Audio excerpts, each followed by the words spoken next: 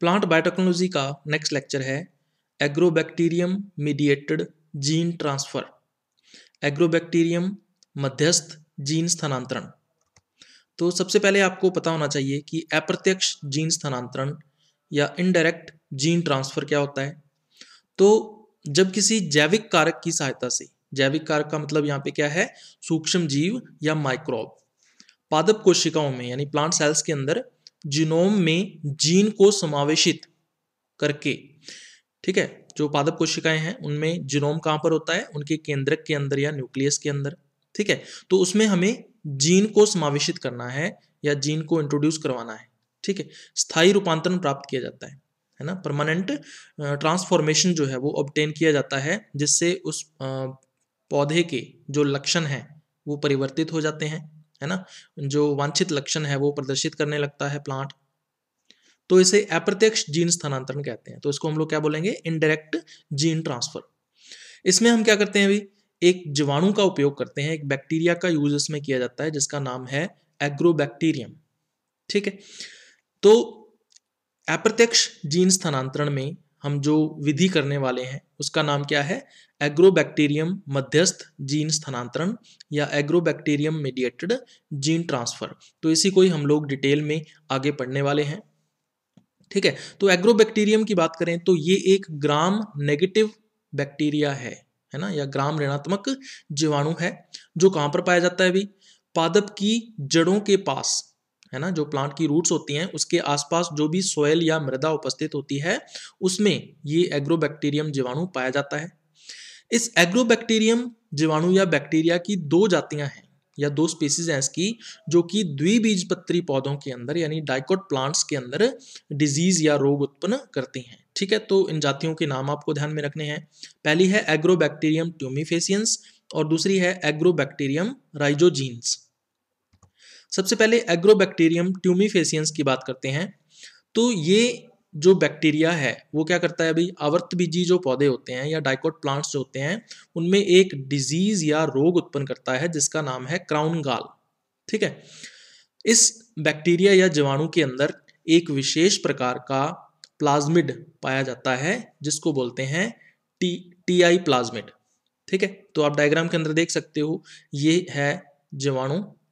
या बैक्टीरिया की कोशिका है, ठीक है? और ये है इसका जो क्रोमोजोमल डीएनए जिसको बोल देते हैं, जो मेन डीएनए है, इसके अलावा एक्स्ट्रा क्रोमोजोमल डीएनए इसमें पाया जाता है जिसको प्लाज्मिड बोलते हैं। तो यहाँ पर जो प्लाज्मिड है उसका नाम क्या है? T T I plasmid.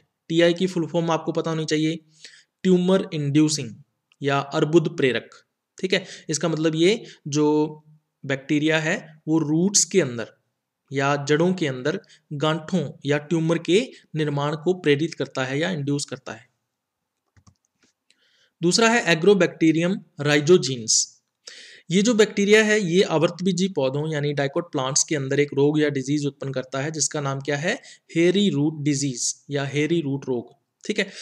ये जो बैक्टीरिया है, इसमें एक विशेष प्रकार का प्लाज्मिड पाया जाता है, जिसका नाम क्या है? आर आई प्लाज्मिड तो इस डायग्राम के अंदर देख सकते हो भी ये जीवाणु कोशिका है बैक्टीरियल सेल है।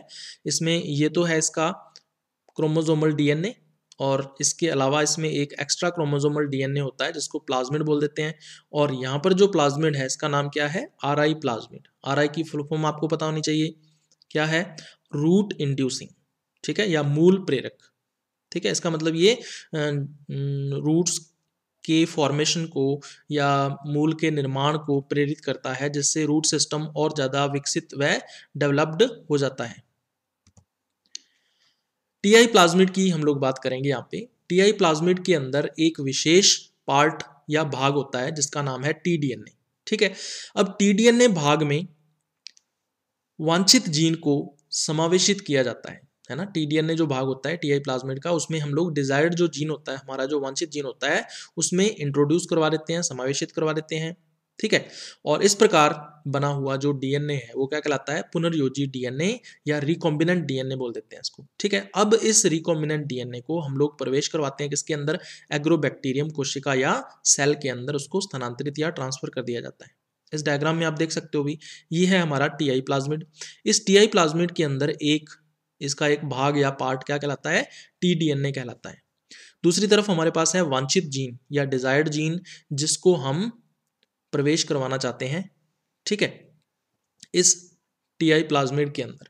तो टी आई प्लाज्मिड में ये वांछित जीन या डिजायर्ड जीन कहाँ पर प्रवेश करेगा? इस टीडीएनए पार्ट के अंदर जो है ये समावेशित हो जाएगा या इंट्रोड्यूस हो जाएगा। तो नेक्स्ट डायग्राम में हम लोग देखेंगे आप देख सकते हो भी, जो वांछित जीन है डिजायर्ड जीन है हमारा, वो टी टीडीएनए पार्ट के अंदर समावेशित या इंट्रोड्यूस हो चुका है। तो इस प्रकार बना हुआ जो कंप्लीट डीएनए है, उसको हम लोग क्या बोलेंगे? पुनर्योजी डीएनए या रिकॉम्बिनेंट डीएनए ठीक है? अब इस रिकॉम्बिनेंट डीएनए को हम लोग प्रवेश करवाते हैं किसके अंदर? जीवाणु की कोशिकाओं के अंदर एग्रोबैक्टीरियम की सेल के अंदर प्रवेश करवा देंगे। और ये प्रक्रिया क्या कहलाती है? ट्रांसफॉर्मेशन कहलाती है। ठीक है तो इसका ट्रांसफॉर्मेशन हम लोग कर देते हैं। तो इस प्रकार की जो सेल है, वो ट्रांसफॉर्म्ड सेल हो जाएगी और इस प्रकार रिकॉम्बिनेंट डीएनए या पुनर्योजी डीएनए कोशिका के अंदर आ जाता है। चलिए, अब हम क्या करते हैं अभी? जिस पौधे का हमें स्थायी रूपांतरण करना है या परमानेंट ट्रांसफॉर्मेशन करना है, ठीक है, उस पौधे की हम लोग एक पत्ती लेते हैं, पर्ण लेते हैं। उसको निर्जमित कर लेते हैं या स्टेरलाइज कर लेते हैं, ठीक है? और फिर उसके ब्लेड की हेल्प से गोल टुकड़े या सर्कुलर उसके पीसेस काट लेते हैं, ठीक है? अब हम क्या करते हैं, इन टुकड़ों को, ये जो पीसेस होते हैं, गोल टुकड़े या जो सर्कुलर पीस हमने काटे हैं लीफ के, इन टुकड़ों को एग्रोबैक्टीरियम के साथ एग्रोबैक्टीरियम क्या है? जीवाणु है, उसके साथ पूरी रात उष्मायन देते हैं, यानी इंक्यूबेट किया जाता है इंक्यूबेशन किया जाता है इंक्यूबेटर के अंदर रख के, ठीक है? ऐसा करने से होगा क्या भाई? जो एग्रोबैक्टीरियम की कोशिकाएँ हैं, कौन सी कोशिकाएँ? ये वाली जो कोशिकाएँ हैं, यानी ट्रांसफॉर्म्ड जो सेल्स हैं एग्रोबैक्टीरियम की, वो प्रवेश कर जाती हैं कहाँ पर? पर्ण की कोशिकाओं के अंदर, है ना? पर्ण के टुकड़ों टुकड़ों के अंदर जो कोशिकाएँ होंगी इसकी या जो सेल्स होंगी, उनके अंदर एग्रोबैक्टीरियम जीवाणु प्रवेश कर जाएगा। ठीक है? अब क्या करते हैं अभी? दो दिनों तक इन टुकड़ों को शूटिंग माध्यम में रखते हैं। शूटिंग माध्यम एक ऐसा माध्यम होता है जो शूट फॉर्मेशन यानी कि हम कह सकते हैं कि पर्ण लीफ और जो एरियल पार्ट होता है पौधे का, वो उसके निर्माण के लिए जो माध्यम यूज़ किया जाता है उसको शूटिंग माध्यम बोल देते हैं। तो इसमें शूट सिस्टम का फॉर्मेशन होगा, शूट सिस्टम बनेगा पौधे का। ठीक है? दो दिनों तक हम लोग इस माध्यम में रखते हैं। अब हम शूटिंग माध्यम के अंदर दो केमिकल्स मिलाते हैं। ठीक है? एक तो है कैनामाइसिन और दूसरा है कार्बेनिसिलिन ये दोनों की दोनों क्या है अभी? एंटीबायोटिक्स होती हैं। तीन से चार सप्ताहों तक हम लोग संवर्धित करते हैं या कल्चर करते हैं। ठीक है? शूटिंग माध्यम के अंदर। और ये दो जो एंटीबायोटिक्स कैनामाइसिन और कार्बेनिसिलिन ये मिला देते हैं शूटिंग माध्यम के अंदर, ठीक है? अब हम फिर से स्थानांतरित करेंगे किसके अंदर? रूटिंग माध्यम में, ठीक है? जो रूट फॉर्मेशन यानी कि मूल निर्माण के लिए प्रेरित करता है, जो माध्यम उसके अंदर स्थानांतरित कर देते हैं। और फिर उसमें दो एंटीबायोटिक्स फिर मिलाए जाते हैं, कैनामाइसिन और कार्बेनिसिलिन। कितने टाइम तक हम इसको संवर्धित करते हैं? तीन से चार सप्ताहों तक फिर से इसको कल्चर या संवर्धित किया जाता है। ठीक है? तो इस प्रकार जो प्लांट है, वो विकसित हो जाता है, पौधा बन जाता है। अब इस पौधे को हम लोग क्या करेंगे? पॉट के अंदर, गमले के अंदर स्थानांतरित करेंगे। ग्रीन हाउस में स्थापित कर देते हैं। ग्रीन हाउस में गमले के अंदर इसको स्थापित कर दिया जाता है। ठीक है? कुछ दिनों के पश्चात जब ग्रीन हाउस के वातावरण में ये जो पौधा है, वो पूरी तरह से अडेप्टेबल हो जाता है, अनुकूलित हो जाता है तो फिर इसको निकाल कर हम लोग पौधे को खेत की मृदा में या फ़ील्ड की सॉइल के अंदर इसको स्टैब्लिश कर दिया जाता है या स्थापित कर दिया जाता है। ठीक है? चलिए, अब इसको एक डायग्राम से समझ लेते हैं अभी। ये हमारे पास एक लीफ है या पर्ण है जिसकी, जिसका सरफेस स्टेरलाइजेशन हमने किया हुआ है। ठीक है, सतही निर्जमीकरण इसका किया हुआ है। अब इसके गोल टुकड़े काट लेते हैं। तो यह है लीफ डिस्क गोल टुकड़ों को लीफ डिस्क बोल देते हैं। ब्लेड की सहायता से हमने काटे हैं। अब इन टुकड़ों को फिर हम कहाँ डालेंगे? एक पैट्री डिश के अंदर डालेंगे। इस पैट्री डिश में हमने क्या डाल रखा है अभी? लिक्विड मीडियम द्रव माध्यम डाल रखा है। ठीक है? लीफ डिस्क को इसमें डाल दिया और इस लिक्विड मीडियम या द्रव माध्यम के अंदर क्या है अभी? एग्रोबैक्टीरियम की सेल्स हैं। ट्रांसफॉर्म्ड जो सेल्स होती हैं, वो इसके अंदर है, माध्यम के अंदर। ठीक है तो incubate with transformed agrobacterium cells तो एग्रोबैक्टीरियम जीवाणु की जो ट्रांसफॉर्म्ड सेल्स हैं, उनके साथ इसका इंक्यूबेशन या उष्मायन करते हैं। पूरी रात इंक्यूबेट करते हैं, ठीक है? होल नाइट बारह घंटे की रात है, मान लीजिए तो पूरी रात हम लोग क्या करेंगे, इसको उष्मायन करेंगे इंक्यूबेट करेंगे, फिर इसको शूटिंग माध्यम के अंदर स्थानांतरित कर देते हैं ताकि शूट सिस्टम का निर्माण हो सके। दो दिनों तक इसको शूटिंग माध्यम में रखते हैं, ठीक है? फिर हम क्या करेंगे भी, इस शूटिंग माध्यम के अंदर दो एंटीबायोटिक्स और मिलाते हैं कैनामाइसिन और कार्बेनिसिलिन कैनामाइसिन किस लिए डालते हैं? सिलेक्शन या वर्ण के लिए, ठीक है? जो ट्रांसफॉर्म्ड प्लांट सेल्स होंगी या पादप कोशिकाएँ होंगी, रूपांतरित उनके वर्ण के लिए या सिलेक्शन के लिए। दूसरा कार्बेनिसिलिन डालते हैं। कार्बेनिसिलिन क्या करता है भी जो एग्रोबैक्टीरियम की सेल्स होती हैं या कोशिकाएँ होती हैं, उनको डेड करने का यानी कि किल करने का या मारने का काम करती है। ठीक है? तो तीन से चार वीक्स के लिए शूटिंग माध्यम के अंदर जो लीफ डिस्क होती हैं, उनको हम लोग रखते हैं। फिर उसके बाद क्या करेंगे? रूटिंग माध्यम के अंदर इसको स्थानांतरित कर देते हैं। फिर से दो एंटीबायोटिक हमें डालने हैं इसके अंदर, कैनामाइसिन और कार्बेनिसिलिन। तीन से चार सप्ताहों तक हम लोग इसको संवर्धित या कल्चर करते हैं। ठीक है तो पौधा विकसित हो जाएगा। अब इस पौधे को हम लोग पॉट में डालते हैं। ठीक है, पॉट के अंदर इसको स्टैब्लिश स्थापित कर देते हैं और इस पॉट को कहाँ रखते हैं? अभी ग्रीन हाउस के अंदर, ताकि ये उसके वातावरण के अंदर, एनवायरनमेंट के अंदर क्या हो जाए? अनुकूलित हो जाए या अडेप्टेबल हो जाए। तो जब अडेप्टेबल हो जाता है तो फिर इसको यहाँ से निकालते हैं, इस स्पॉट में से इस प्लांट को और फ़ील्ड की जो सोयल होती है या खेत की जो मृदा होती है उसके अंदर स्थानांतरित कर देते हैं या ट्रांसफ़र कर देते हैं। चलिए, अब लास्ट में हम लोग करेंगे जीन स्थानांतरण की विधि की mechanism of gene transfer gene का ट्रांसफ़र या स्थानांतरण कैसे हुआ? तो टीआई प्लाज्मिड की हम लोग बात करेंगे टीआई प्लाज्मिड का जो टी डीएनए भाग होता है या पार्ट होता है, उसमें एक विशिष्ट गुण होता है, एक करेक्टर होता है क्या? कि पादप के जिनोम में समाकलित हो सकता है, ठीक है ना? कि ये जो प्लांट का जिनोम होता है, पादप के अंदर जो केंद्रक के अंदर उसका डीएनए होता है, उसमें ये समाकलित या इंट्रोड्यूस हो सकता है, ये इसका गुण होता है टी डीएनए का, ठीक है? पर्ण के जो टुकड़े होते हैं, पत्ती के जो टुकड़े हैं या लीफ डिस्क जो होती हैं उनसे एक विशिष्ट रसायन या एक स्पेसिफिक केमिकल निकलता है, जिसका नाम आपको ध्यान में रखना है एसिटोसरिंजिन ठीक है? ये एसिटोसरिंजिन करता क्या है अभी?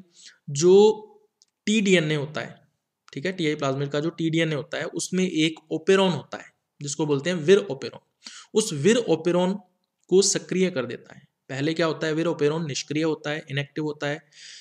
ये एसिटोसरिंजोन जो कि पत्ती के टुकड़ों से निकलता है, ये इस विर ओपेरोन को सक्रिय कर देता है, एक्टिव कर देता है। तो ये विर ओपेरोन किसका भाग है? टीडीएनए का। चलिए, अब इसको डायग्राम से देख लेते हैं अभी। लीफ डिस्क से एक रसायन या केमिकल निकलेगा, जिसका नाम क्या है? एसिटोसरिंजिन। एसिटोसरिंजिन क्या करेगा? विर ओपेरोन जो कि किसका भाग है? टीडीएनए का भाग है।